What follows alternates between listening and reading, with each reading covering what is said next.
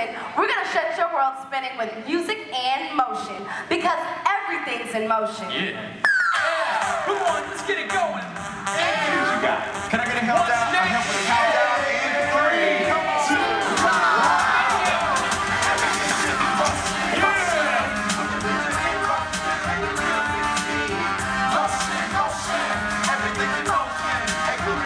We had a program that was given to us today, was funded by the Philadelphia Ed Fund, that talked about science. It helped our kids to understand the three laws of Newton.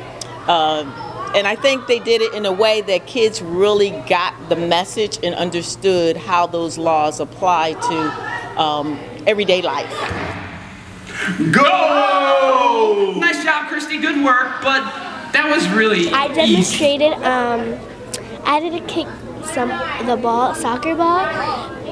First, I had to do a little one, then a medium one, then a big one.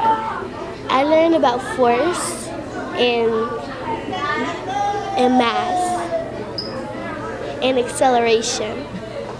We believe in, you know, using the power of the arts to inspire learning in a variety of areas, including, you know, science, technology, math, and engineering.